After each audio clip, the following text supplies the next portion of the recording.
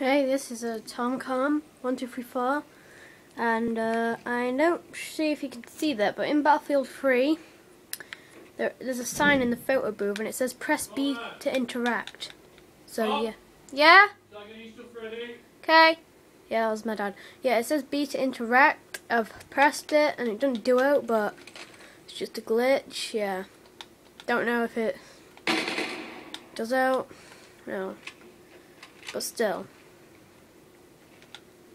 yeah, figure it out.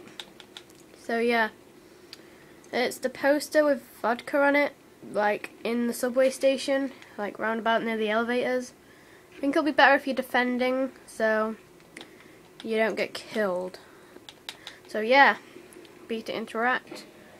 Uh, I think you can just about see B. Yeah, press B to interact. Don't do it, or just a cool glitch. Comment if you find it, and get it to work.